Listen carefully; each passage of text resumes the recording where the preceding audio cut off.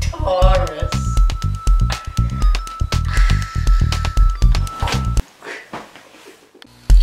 This horoscope is for Taurus, another one of my favorites. Man, those monkeys think so differently from the rest of us. They are just so original and cool and unmovable, unfortunately. But, you know, we need them because who else would be sitting there this is the way it is and it's the only way it is, but Taurus.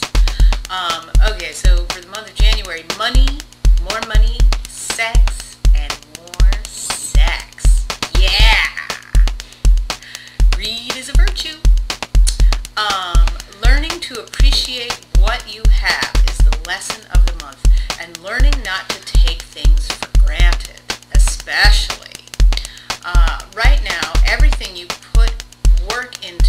will pay off, but you have to work. Uh, what you see is really just what you get. And how about, why don't you try a little giveaway? If you have too many things in the closet, unload some of that stuff. It'll come back to you 10 years later. You only live once. It feels so good to give. So Taurus, try some giving, okay? And let me tell you, coming into Capricorn.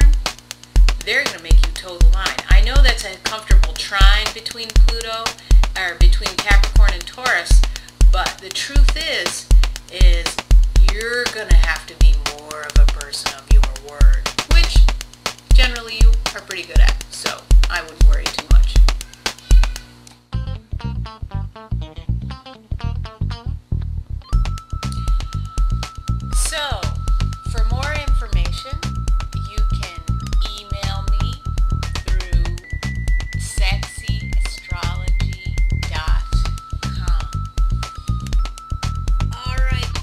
over now.